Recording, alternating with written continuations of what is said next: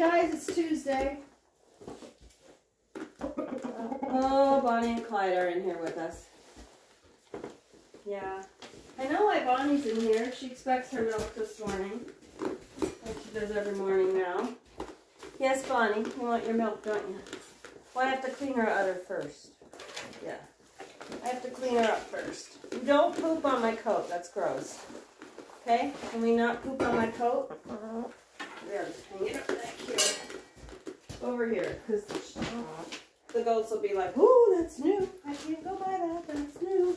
Right, Miss Autumn. Right, my sweet girl. Yeah, yeah. Oh, it's just sweet girl. You're looking for Bonnie. My milk, crazy lady. I want my milk. You're worse than a barn cat. Whew, I'm tired this morning.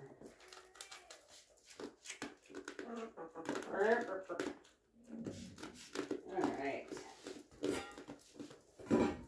Get some milk for the chickies.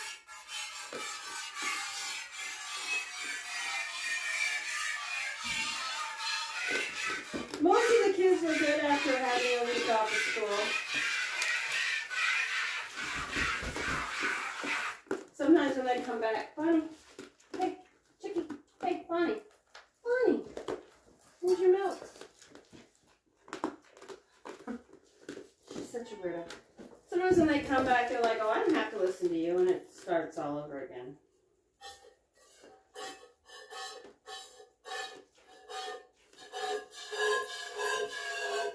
But overall,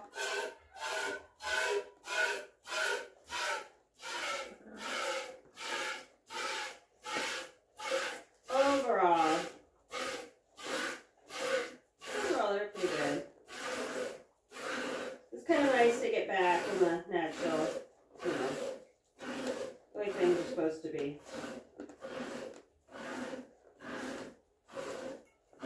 So, tonight we're to get another storm.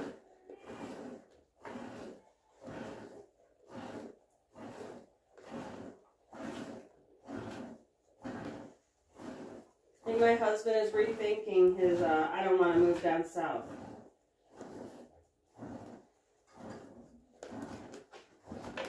I wanted to go back to Texas. Oh, such a long growing season. And the snow, the lack of snow. That's what was selling me. I looked at Oklahoma. A lot of desert though in Oklahoma, and I'm really not a big fan of desert. I like to visit it, but I don't want to farm in a desert. No. I'm too water addicted. That was the only thing good about living in the Pacific Northwest is that it's a temperate rainforest for like nine months out of the year, and the other three months it's a desert. You get less rainfall than a desert. So you really do have to figure out a way to work within those parameters. So I did everything. I, I planted my trees in raised beds. Everything I planted out there was raised beds. So they could be mulched really well.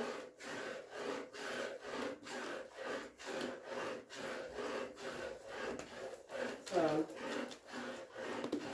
I left so much of my garden stuff back. What I should have done, instead of being in such a rush, is I should have taken more time.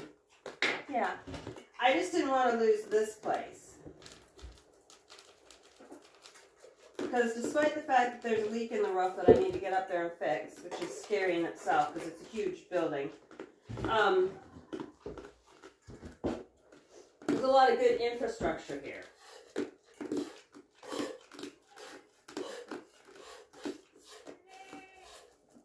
Didn't have to build a barn.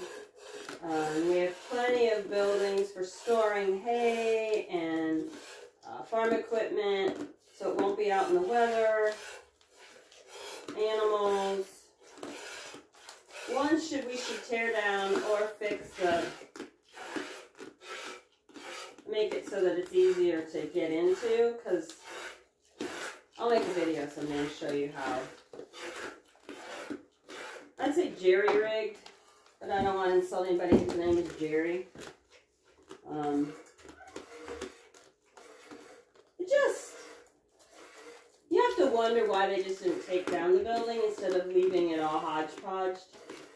And maybe because it was worth more with more buildings on it. Although I found when you're trying to finance, it's not as easy.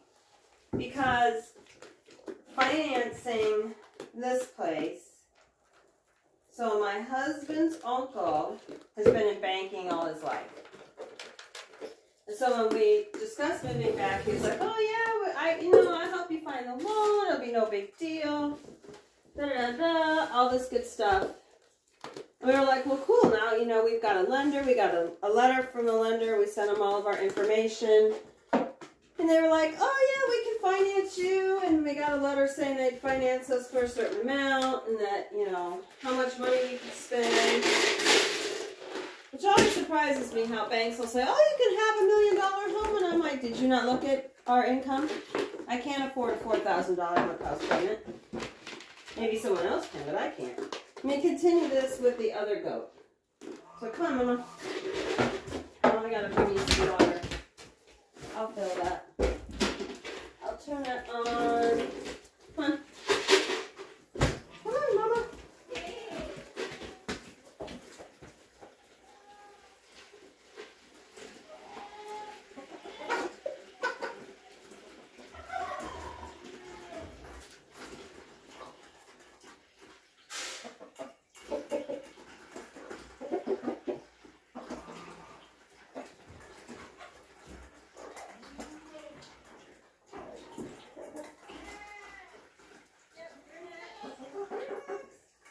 I already have all the food in the bucket. Do I do it? Do I do it? Do I do it? Do I do it?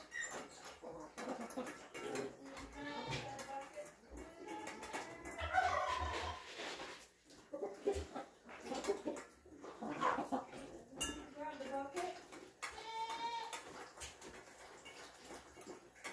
Grab the bucket. I'll fill on.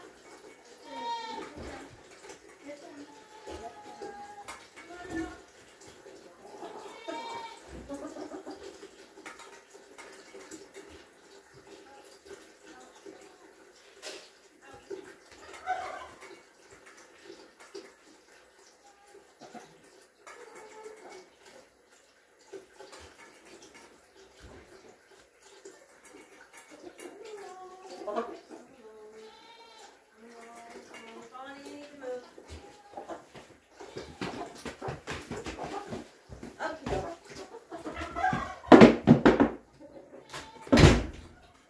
I had someone tell me that I should tie Summer's back feet, which trust me, I tried.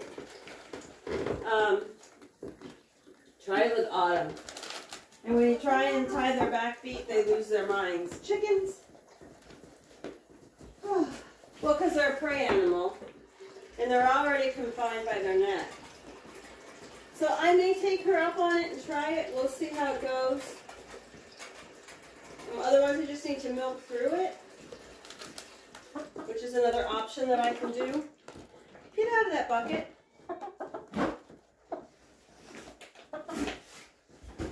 I don't have any grain for you chickens. I didn't. I didn't bring grain in for chickens. You're supposed to be out of my barn.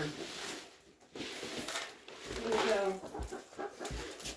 So back to the financing. Really? So we had to run documents to the bank, and we were living almost three hours away in Marquette. And so we had uh, we'd gone and I'd given them our address where we were staying. I'm like, we're not in Washington anymore, and they sent us something, and it was no big deal. And so then I, everything's going through. We got all the loan processing. We're got a signing date, and I get this registered. I get a letter. I don't remember if it was registered or not. But I get a letter that had been forwarded from our old address out in Washington State. And it's a letter from the bank. And I'm like, well, why would they send us a letter to Washington. They know we're in town. I mean, I've talked to the lady, the, the lending lady. I told her we were here in town. That's how she was able to call me on the phone and, you know, ask for items they needed or stuff. So, anyway, I get a hold of, I open up the letter, and meanwhile, it's three days before closing. And I get a hold of, I read the letter, and it is said that because of the type of the appraisal, that there were too many buildings or too much acreage to qualify for a loan. uh, To qualify for the loan they wanted to give us, because the loan they wanted to give us, they could sell. And because they couldn't sell this type of loan to another lending agency within four or five years, they changed the terms of the loan to a five-year loan with no promise of, um, no promise of refinancing. So they weren't, they, they would not agree to refinance us, and we'd have to look at it again, and that we had a balloon payment of two hundred thousand dollars in five years. So technically, we would pay a mortgage for five years, have to owe everything that we purchased the property for. So we didn't have any equity. We still owed what we were buying it for. And they weren't going to promise to refinance us. And I was like, uh, no. I'm not signing that. So we got a hold of his uncle, my husband's uncle, and he was like, "Well, that's a good, it's a good, that's that's a standard loan." I'm like, "No, the original letter was a 30-year fixed with no penalty for paying off early at whatever percentage rate it was." He's like, "Well, you still have the same percentage rate." I'm like, "With a balloon payment." I go, "Where am I going to have? You think I'm going to make two hundred and five thousand dollars in five years as a teacher?" I don't know where you think I'm teaching. It must be a different planet. So, anyway, so we had to call the seller, we had to call our realtor. Um, I immediately started searching for another finance company. And I came across a company called Greenstone. I cannot say enough positive things about Greenstone. It's not your traditional bank. It is not for profit. It is a co-op bank, so you have to have good credit to get in. Um, you have to have equity. You have to be a good a good loan candidate. And because this is our third house, we have a history of years paying our payments on time, you know, not being late on house payments, paying things off, not having issues, um, good credit scores, and we had a down payment. And so, got a hold of them. I told them all of our stuff, told them what had happened, and they got back to me the very next day. And we had, you know, I talked to the guy, had uh, the realtor send them the appraisal, all the other stuff that went with, you know, property, and and within 24 hours, probably 48 hours, we had secured another loan. And so, because it's not for profit, it's a co op, their profits can't be given to shareholders. All the people who have loans are considered shareholders. So what happens is instead of a CEO or a group of CEOs getting all the profits, it goes to one of you guys stinks. It goes back to the people with the loans. So the first year we got a check for almost one payment, one house payment. This year we got back two grand as our share of the profit. So, hey, stop. I can only say great things about Greenstone. I could, I could never. I would like for them to have like, they've got tax accountants for tax preparing. They specialize in farms, hunting, recreational property. I can't say enough because we wouldn't be able to have this place. Because the traditional bank wasn't going to loan the money for it. Which is absolutely ridiculous that a traditional bank would loan me. We weren't asking for any more money. They would have loaned me the money had this been a condo in Marquette for half a million dollars, way more than what this was.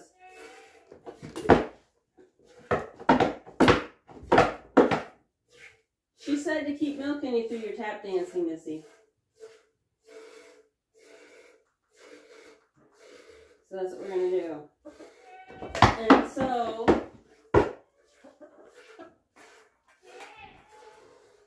are you out of food? Would you like a little more milk, Chicky Wicky?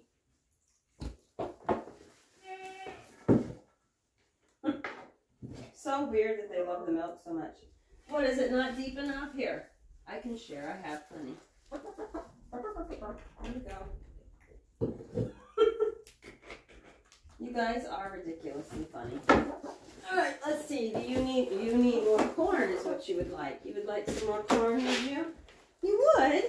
You would. Huh? There's your corn. So if you're looking to finance, I would look at them. I don't know if they're in every state. I'm in Michigan. Um, our electric company is also a co-op. So again, the only thing with the uh, of the co-op, so if I were building this, if I'm building something and my electric company is a co-op, you have to pay for the, the majority of the installation and the, and the electric line costs for you. Because they're not going to make a profit off giving electricity for that property that you have. Which can make it extremely expensive to run electricity and stuff. So that's the downside. The upside is that again, the money that you put into it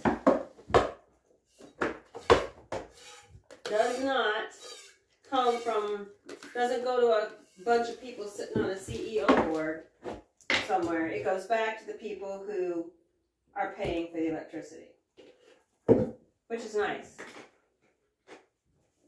So we get a check, we get a rebate check back from them every year too.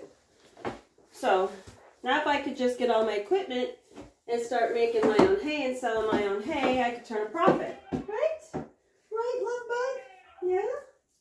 That's your milk. Did you want to drink some of your milk? You want your apples? You want your apple cookies, Summer? Hmm? You want your apple cookies? What do you think about that? Hmm? Yeah? Yes? Oh, I'm sorry. You have a mouthful. Did you have a mouthful? Ready? Last one. Oh, you guys are spoiled. You are some spoiled billies. Yeah. Alright, I have to bring this to your sister. And I have to give you some extra water.